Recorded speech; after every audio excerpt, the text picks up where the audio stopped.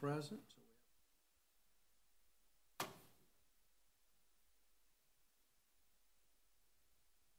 I move to accept the minutes, sir. Leave us ready for your approval, Mr. Chairman. Presentation.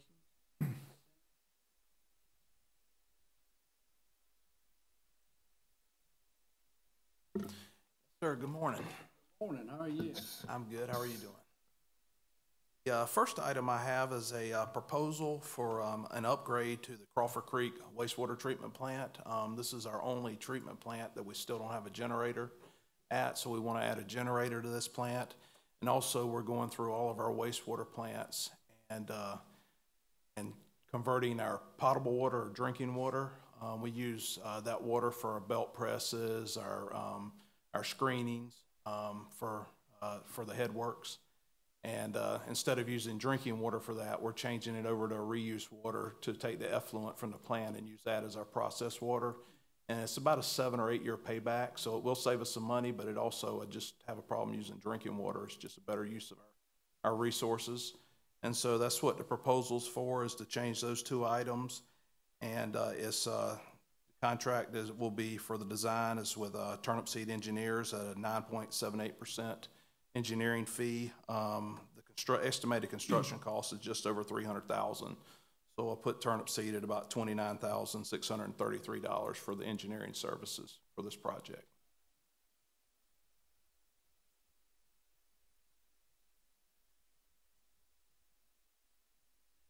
Yeah, yes, sir. Nine point seven eight percent does seem high, but it's a small fee. It takes a lot of money to kind of get these started. It falls right in line with the American Society of Civil Engineers recommendations for fees for this type of project. So it's not a unreasonable request for, for a fee.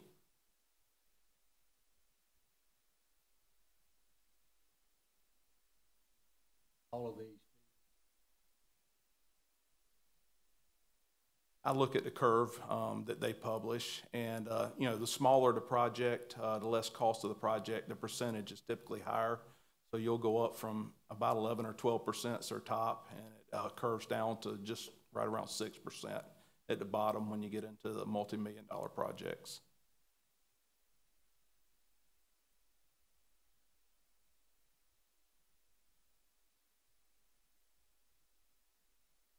Yes, sir. Go to consent, sir. All right. Next item is a uh, change order for a Woodbridge Pump Station. This is a project that is significantly behind schedule.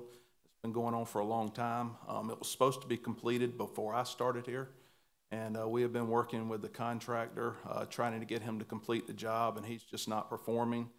So we made him an offer to change order this current contract to, uh, to get him off-site. So there's some damages in there. We didn't want to go through the process of liquidated damages because we'd have to go against this bonding company. We felt the cleanest way to do it is to do a change order that'll leave the money left in the contract for us to finish the project plus some damages on his part um, because he didn't didn't complete and change orders an amount of uh, a deduction of two hundred and eighty-nine thousand three hundred dollars and fifty-nine cent and staff recommends approval to change order. Yes, sir. Timeline is Um, no, it makes the new completion date for the contractor of, of September twenty-sixth. So, um, he signed the change orders just, uh, based on the approval of the commission, um, to agree to the change order. But, uh, we'll have to sit down and, and work out a timeline for completing it, because I was waiting for, uh, the commission to approve before I sat down with our staff to, to look through the completion. Obviously, we've been Yeah. working on this. Yes, sir, it is. Move to consent. So moved. Uh, The last item I have is a uh, proposal from uh, Infrastructure Systems Management. We have two projects that we're doing uh, utility relocates of our water and sewer system to uh, um, accommodate uh, widenings of the, DOT widenings of the road. And um, the two projects are uh, Hardy McManus Road and Horizon South. And the services will be provided for both projects, a lump sum of fifty-two thousand five hundred dollars. Staff recommends approval of this proposal. Consent, sir. Yes, sir. Elijah, shoot. Good morning. How are y'all doing today? The first item we have for your consideration is an independent contract agreement with Keck and Wood for engineering, um, for a traffic engineering reporter study, um, at Washington Road, just north of William Few Parkway. Uh, staff's identified some safety concerns there, uh, in the northwest direction, uh, during PM peak, traffic backs up in the single lane up over the hill, and vice versa, AM peak in the southeast direction, traffic backs up, um, close to Old Washington Road. So we're looking at doing, uh, two through lanes, uh, in the north, northwest direction, uh, to basically allow traffic to merge, uh, after they get past William Few Parkway before Market View. And, uh, similarly, we're looking at two through lanes, southeast in the southeast direction. The, the right lane will be a through right lane, um, so we'll add a, a turn lane, basically a turn lane extension and a through lane there. Um, this is for a study, uh, for Keck and Wood to do. GDOT would, it's the GDOT route, so GDOT will require this traffic study be performed, uh, prior to doing the design to make sure it's warranted and justified before we go into the design phase. So this is kind of the first step in making those improvements. The good thing is, if we can get GDOT to buy, uh, buy in on this project, a lot of the infrastructure is already there, so we don't expect the construction cost, um, to be significant at that point.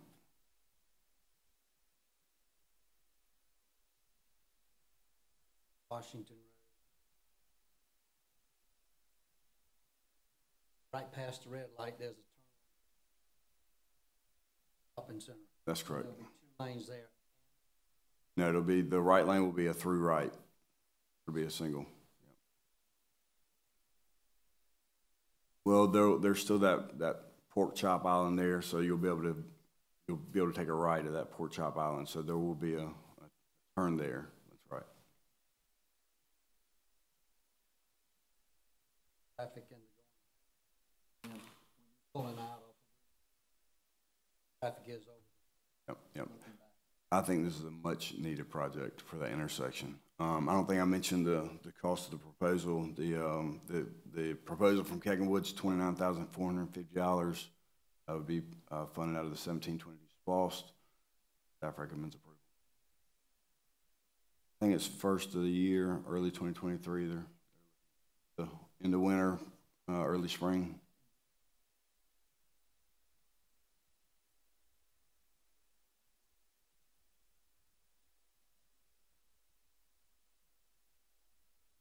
I wouldn't, I wouldn't, uh, I would hope not, um, but it is GDOT, so we have to kind of go with their, with, with GDOT and how fast they travel, um, how fast they work. Uh, a lot of this will have to go through Atlanta, traffic related. So best guess, um, if we could have approval from GDOT on the study, we can have design completed by the end of next year, um, and hopefully go to construction early 2024.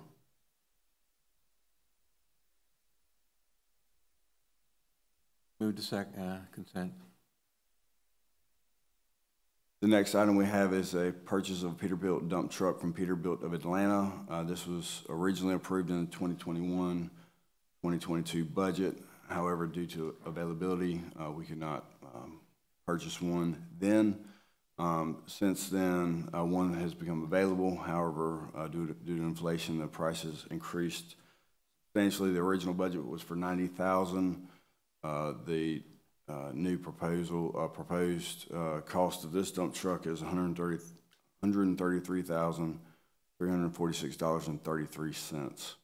Uh, This purchase will be under a Sourcewell contract. Um, Still eight to 10 months out if we were to place the order today. Um, It will be purchased out of the Stormwater Heavy Equipment Fund.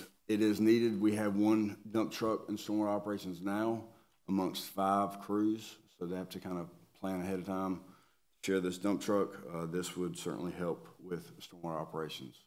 Staff recommends approval. Uh, yeah, that's a big o- overrun, but I move to consent.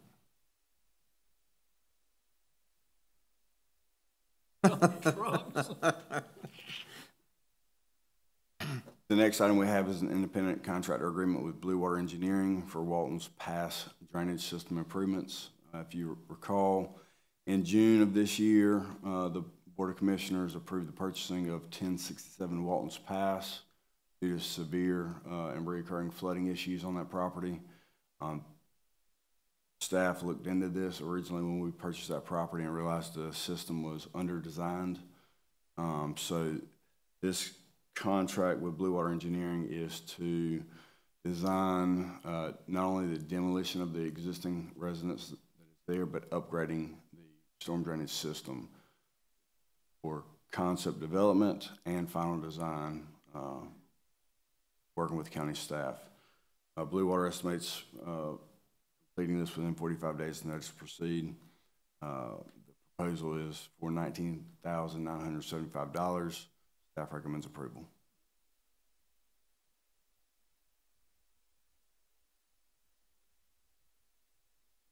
House is. Sure.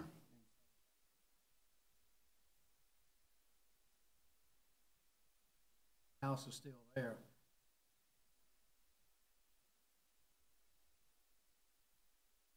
We, we don't believe it, We- this one property. we don't believe it will. Um, and as quick as Blue Water's proposal is to turn this around a month and a half, uh, and we would bid the con, the construction out immediately thereafter. So we're looking, you know, early next year to go to construction, demolish the house and go to construction of improving the system.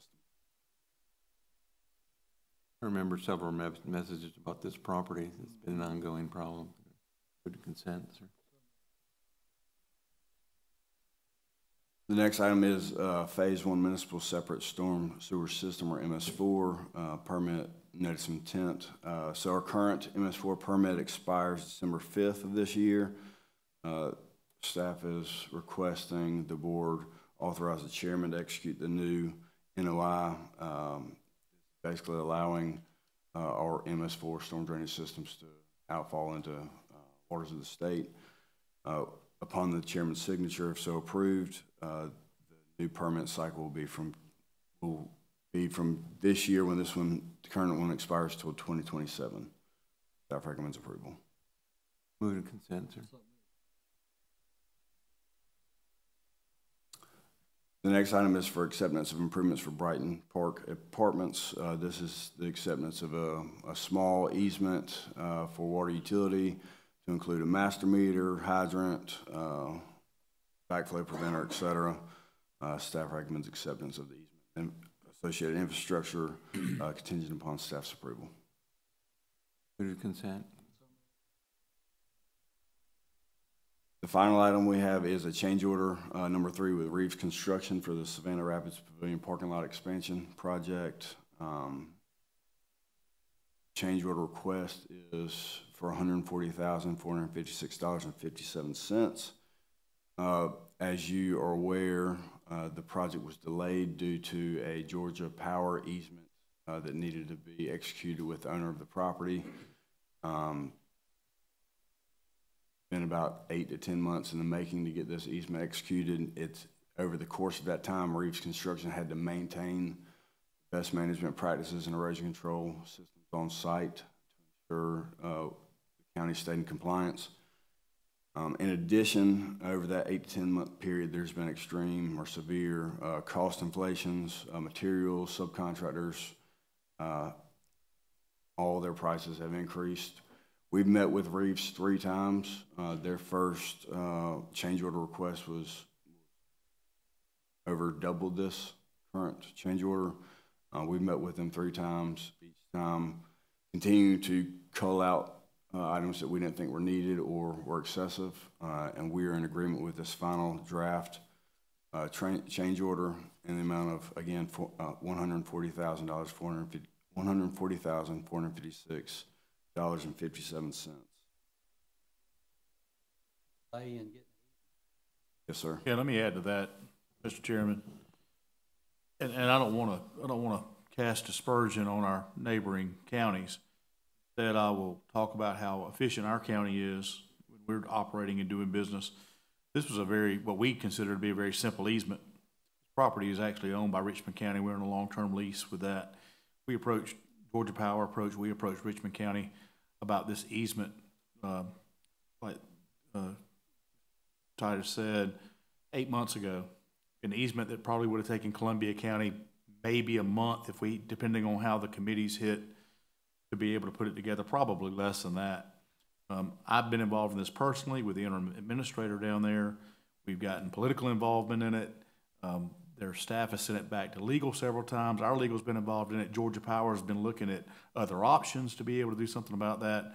Um, and I will just say that, that, uh, you should never have that type of situation out of, out of any of our employees or any of our departments taking that long to do something like that. And subsequently, it's costing the taxpayers of Columbia County hundred and forty thousand dollars. Um, and, and we just, we don't operate like that. So, um, I, I, I can't speak for Richmond County as to why. I'm sure they have their reasons as to why they needed to be so particular on this easement. Maybe that's how they are on all of their easements. Uh, so again, I'm not, I'm not saying that they've done anything wrong. I'm just saying this is a, a direct result of, of it taking way longer than I think it should have. And I would not allow that to happen in Columbia County, nor would any of your directors or any of your staff. So I'm just bringing that to the attention of the committee. Um, it, it is what it is. Uh, again, there, there's, there's no hard feelings, but at the end of the day, we have to be cognizant and, and responsible for the taxpayer money in Columbia County, and this one I believe was unnecessary. No hard feelings, but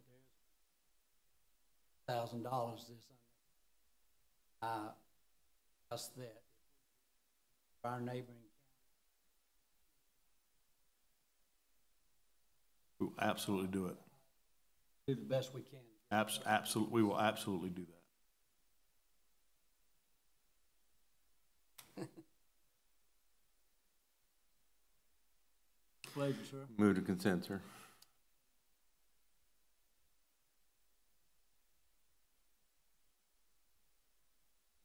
Driver.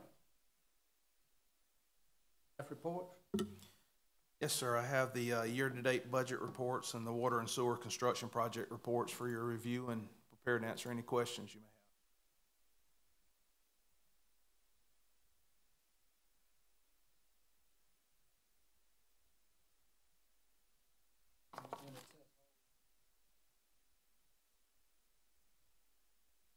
On time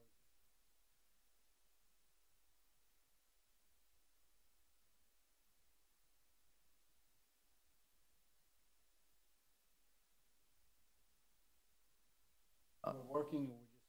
Yes, sir. Um, they're all for different reasons, like the Jones Creek, they're doing all that construction on, uh, Furys Ferry, so we wanted to wait till that moved out of the way, so there weren't any conflicts there. Um, Sugar Creek, we're just kinda holding on that a little bit until the hospital, um, gets to moving, because this will help support and bolster that area. Um, we have one rejected bid that we're trying to figure out how to save cost, come back and, uh, go at that one, so they're just all different reasons.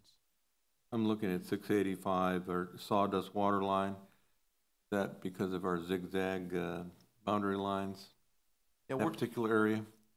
Yeah, that one, um, we're kind of slowing it down a little bit because we're, you know, we, we have the, uh, the radar that's going on the, uh, tank down there in sawdust, um, for the area and, uh, trying to wait on some funds. So we're slowing it down just to make sure we have funds, um, to pay for that one.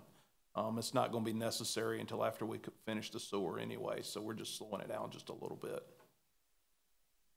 Thank you, sir. No, sir.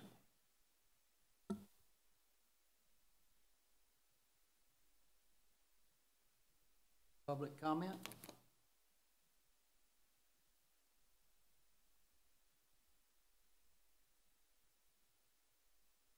Then we Move to, uh, send them to the full board? We are adjourned at nine twenty-six.